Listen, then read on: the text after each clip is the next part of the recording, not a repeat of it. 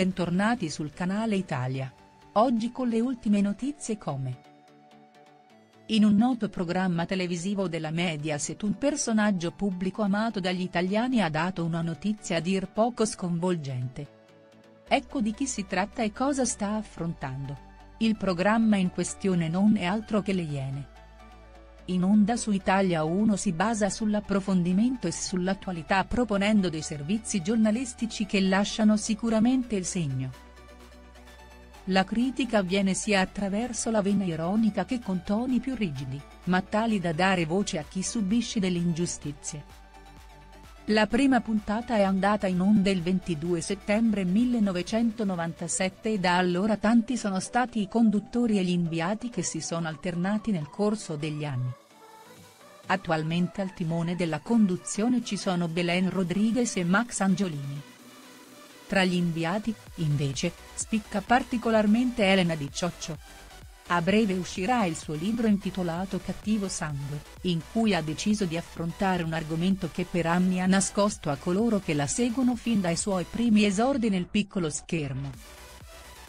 Nel libro si è focalizzata sulla malattia che la affligge da circa 21 anni è sempre stata restia a parlarne, ma ha trovato il coraggio per farlo e lo ha fatto all'interno dello studio del programma Le Iene. Ecco le sue parole. Ho nascosto la malattia. Ho l'HIV, sono una di quelli con l'alone viola. Ero molto giovane quando questa diagnosi stravolse completamente la mia vita. All'inizio avevo paura di morire, poi di poter fare del male al prossimo e se contagi qualcuno?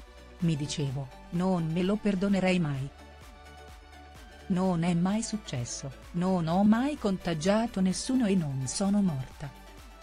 Poi ha proseguito nel suo discorso, le terapie mi consentivano via via di vivere una vita sempre più normale, ad uccidermi è stata una smisurata vergogna di me stessa. Mi sentivo sporca, difettosa Avevo timore di essere derisa, insultata, squalificata dal pregiudizio che ancora esiste nei confronti di noi sieropositivi. Per difendermi ho nascosto la malattia iniziando ad avere una doppia vita. Punto non mi vergogno più.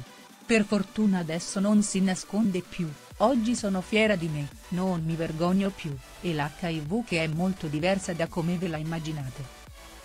Io non sono pericolosa, sono negativizzata e finché mi curo io non posso infettare nessuno. Potete toccarmi, abbracciarmi, baciarmi e tutto il resto. Infine ha concluso, se volete continuare ad avere paura, io lo accetto, però girate lo sguardo verso il vostro nemico. L'ignoranza? Sicuramente le sue parole sono rimaste impresse nel cuore e nella mente del vasto pubblico italiano.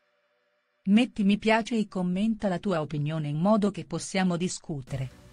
Non dimenticare di iscriverti al canale e fare clic sull'icona della campana per ricevere aggiornamenti da me. Arrivederci, al prossimo video.